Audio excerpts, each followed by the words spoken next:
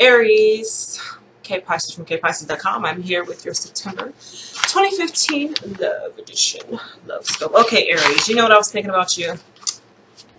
I was in my kitchen and I was like, what about Aries? And you know, what came to me was Aries is going to be a sweetheart this month.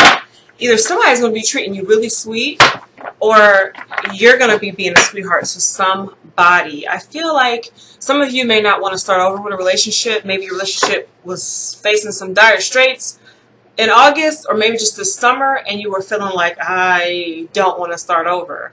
And some of you guys I feel um, may have fucked up and you need to get it together so you're being sweet.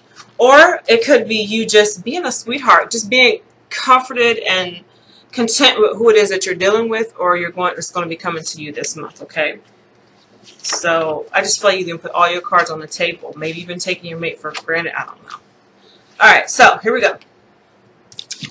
The Fool reversed. It's a lot of different variations of this reading. I can feel it. Um, Seven of Swords reversed. Hmm. Okay.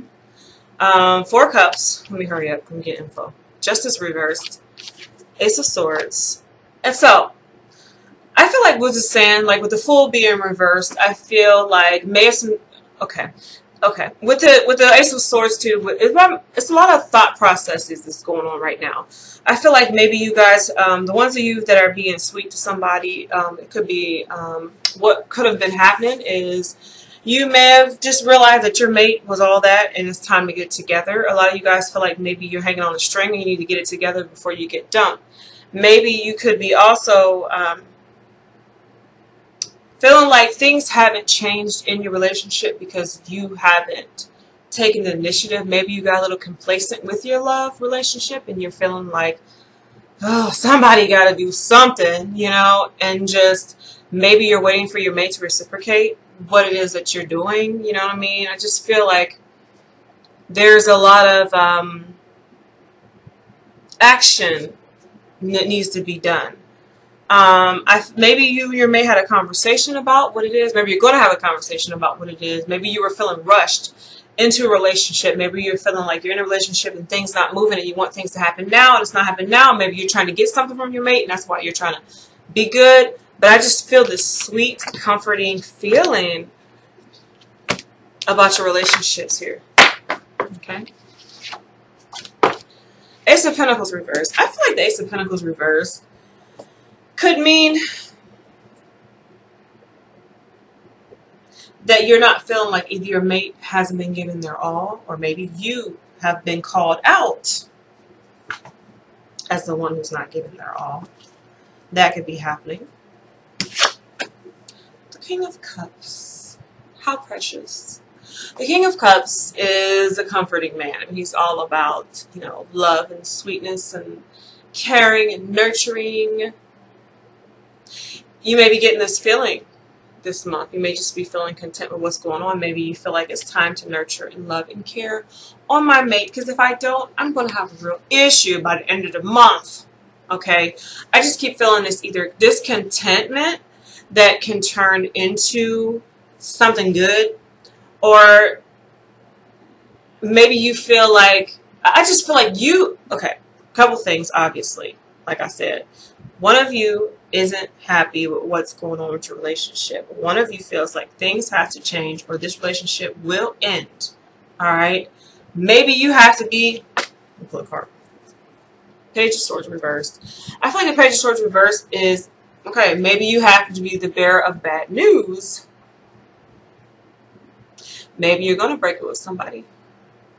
Maybe you feel like, all right, I'm good. So I'm content with the decision that I'm about to make. If this person doesn't get it together, then it's the end of the relationship. You know, we really, something has to give this month. And I feel like Aries is just over it. Over it and tired. Just tired, over, over and tired. Nine of Cups come out reverse. Now, Nine of Cups reverse can mean more than a few things. But I'm going to say in this instance, what do I feel? Things may turn out good, but not how you, not in the manner that you thought they were going to turn out. I think that you may have wanted things to happen one way, they turned out good another way, sorry.